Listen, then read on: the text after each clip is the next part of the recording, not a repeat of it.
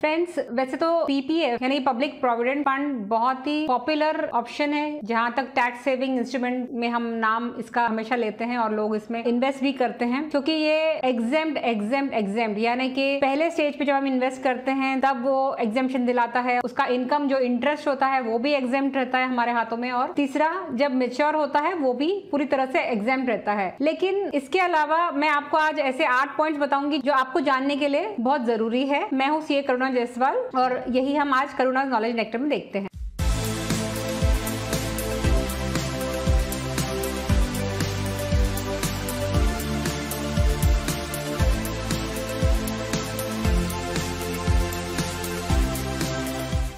पहला पॉइंट ये है कि इसका जो इंटरेस्ट होता है वो क्वार्टरली सेट होता है। यानी कि शुरुआत के एक क्वार्टर के शुरुआत में ही इसका इंटरेस्ट सेट किया जाता है और वो भी उसके पिछले तीन महीने के जो भी गवर्नमेंट बॉन्ड्स के जो रेट्स है उसका एवरेज लेकर ये इंटरेस्ट रेट सेट किया जाता है। और इसका दूसरा बेनिफिट ये है कि वैसे तो लोग समझते हैं कि जब भी, भी हमने पीपीएफ में इन्वेस्ट किया तो यानी पंद्रह साल के लिए तो भूल ही जाओ। लेकिन ऐसा बिल्कुल नहीं है क्योंकि छठवें साल यानी कि सिक्स ईयर के बाद आप डेफिनेटली जो चौथा साल या पांचवा साल में जितना भी बैलेंस है, उसका 50 परसेंट कुछ कंडीशन पर आप डेफिनेटली उसे विड्रॉ कर सकते हैं। अगर कंट्रीब्यूशन करेंगे आगे भी चलकर, इस कंडीशन पे आपने एक्सटेंड किया होगा तो जितना भी एक्सटेंशन पीरियड के स्टार्टिंग का जितना बैलेंस है, उसका मैक्सिमम आप सिक्सटी परसेंट ही विड्रॉ कर सकते हैं। अगर आपने ये कंडीशन नहीं रखी है कि आप कंट्रीब्यूशन आगे नहीं करने वाले फिर भी आप इसे एक्सटेंड करना चाहते हैं तो आप कभी भी, किसी भी समय आफ्टर मेच्योरिटी आप पूरा अमाउंट निकाल सकते हैं। थर्ड पॉइंट इसका ये है कि इसका जो टेन्योर है, वैसे तो पंद्रह साल का है, लेकिन आपका मेच्योरिटी हो गया है और इसके बाद आपको लगता है कि आपको एक्सटेंड करना है तो आप पाँच साल के ब्लॉक ऑफ़ ईयर के लिए आप एक्सटेंड कर सकते हो। और उसके बाद भी ये पीरियड भी खत्म होने के बाद आपको लगता है कि फिर से एक्सटेंड करना है तो आप फिर से पाँच साल के ब्लॉक ऑफ़ ईयर्स के लिए आप इसे एक्सटेंड कर सकते हैं। आपको ये भी ऑप्शन रहता है कि आप कंट्रीब्यूशन के साथ एक्सटेंड करना चाहते हैं, यानी कि आप आगे भी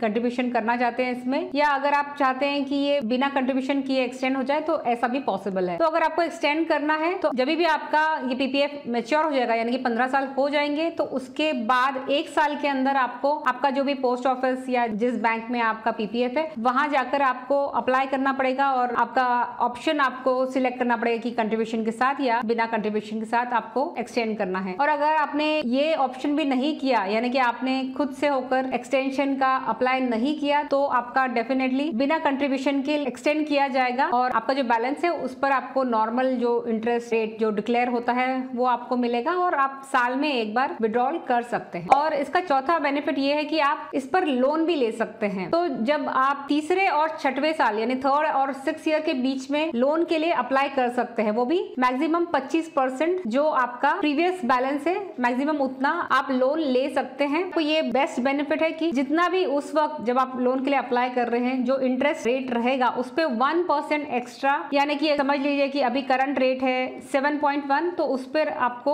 1 परसेंट एक्स्ट्रा यानी कि 8.1 परसेंट के इंटरेस्ट पर आपको लोन मिल सकता है और वो आपको तीन साल के अंदर रीपे करना है। और अगर आपने तीन साल के अंदर रीपे नहीं किया तो आपको 6 परसेंट एक्स्ट्रा इंटरेस्ट के साथ इस लोन को आपको रीपे करना पड़ेगा। यानी कि अगर फ़र्ज़ कीजिए 7.1 अभी अगर इंटरेस्ट रेट है तो 6 परसेंट एक्स्ट्रा यानी कि आपको 13.1 परसेंट के रेट पर आपको रीपे करना पड़ेगा अगर आपने तीन साल के अंदर रीपे नहीं किया तो। इसका फिफ्थ बेनिफिट आपको तब मिलेगा, यानी कि पूरे महीने का जो इंटरेस्ट होता है। तो उसके लिए आपको बिटवीन फ़र्स्ट टू फिफ्थ जो डेट आती है हर महीने की, उसके दौरान ही आपको डिपॉजिट करना पड़ेगा, यानी कंट्रीब्यूट करना पड़ेगा। क्योंकि इसका जो इंटरेस्ट कैलकुलेट होता है, वो महीने के पांचवी तारीख से लेकर महीने के आखिरी तारीख तक जितना भी मिनिमम बैलेंस है, उस पर ही कैलकुलेट होता है। तो इसके लिए आपको between first and fifth of the month उस दौरान आपको कंट्रीब्यूट करना बहुत ज़रूरी है, ताकि वो पूरे महीने के लिए आपको उसका इंटरेस्ट मिल सके उस बैलेंस पर। क्योंकि वैसे तो इसका इंटरेस्ट आपको मंथली कैलकुलेट होता है, लेकिन इसका कंपाउंडिंग एनुअली होता है। तो अगर आप चाहते हैं कि आपका जितना भी कंट्रीब्यूशन है, उस पर आपको उस महीने के लिए पूरा इंटरेस्ट मिले और उसमें आप चेक भी डिपॉजिट कर रहे हैं तो उस चेक को आप ज़रूर इंश्योर करें कि वो आपको एटलीस्ट पांचवी तारीख तक आपके अकाउंट में डेफिनेटली क्रेडिट हो जाए, वरना वो विदाउट इंटरेस्ट ही आपके लिए साबित होगा। और इसका जो सिक्स बेनिफिट है, वो है फोर क्लोजर का। काफ़ी लोग समझते हैं कि पंद्रह साल के लिए हमारा पूरा बैलेंस ब्लॉक ब्लॉक हो जाएगा। लेकिन कुछ कंडीशन जैसे मेडिकल इमरजेंसी हो गई हायर स्टडीज़ हो गया, या अगर हमारा रेसिडेंसी स्टेटस ही अगर चेंज हो गया कि हम अब्रॉड शिफ्ट हो गए तो ऐसे केसेस में आप डेफिनेटली विड्रॉ कर सकते हैं। ये शर्त पे कि आपके अकाउंट को पाँच साल मिनिमम कंप्लीट हो गए होंगे तो ही आप फोरक्लोज कर सकते हैं। लेकिन इसमें एक पेनल्टी ज़रूर आपको लगाई जाएगी कि वन परसेंट का जो इंटरेस्ट है, जैसे अगर आपने आठ साल का अगर आपका अकाउंट कंप्लीट हुआ होगा, और आपने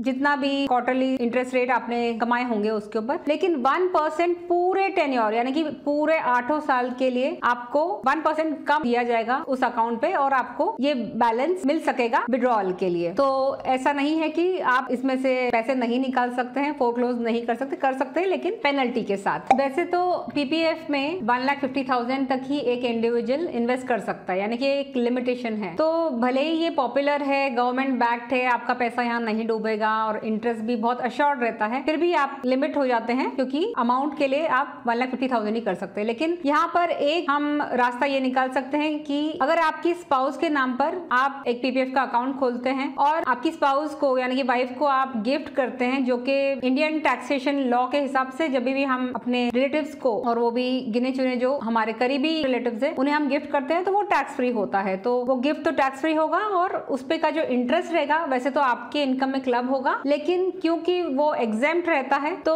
उससे कोई फ़र्क नहीं पड़ता क्योंकि अगर आपके इनकम में क्लब भी होगा तो वो एग्ज़ाम ही रहेगा। तो आप डेफिनेटली एडिशनल जो टैक्स बेनिफिट है, आप इसका फ़ायदा उठा सकते हैं और आप अपने वाइफ के नाम पे एक और एक अकाउंट खोल सकते हैं और इसका जो भी बेनिफिट है एंजॉय कर सकते हैं। इसका आखिरी और आठवां बेनिफिट ये है कि कोई भी इंडिविजुअल का जो भी पीपीएफ अकाउंट होता है, उसका जितना भी बैलेंस है, अगर उस इंडिविजुअल ने कर्ज भी लिया होगा और अगर वो बैंक होता है या अपना लोन रिपे करने के लिए केपेबल नहीं होता है, सक्षम नहीं रहता है तो कोई भी इंडियन कोड या कोई भी क्रेडिटर कोई भी लेनदार उसके इस बैलेंस को हाथ नहीं लगा सकता है। क्योंकि ये सेफ़ है। इसे जो भी लोन है उसको रिकवर करने के लिए इस बैलेंस को यूटिलाइज नहीं किया जा सकता। तो ये लीगल प्रोटेक्शन है पीपीएफ के अकाउंट होल्डर्स के लिए और उनके बैलेंस के लिए। तो डेफिनेटली आप पीपीएफ के लिए मैं आपको यही रिकमेंड करती हूँ कि आप डेफिनेटली खोले, क्योंकि यहाँ पर कैपिटल और रिटर्न दोनों की गारंटी होती है।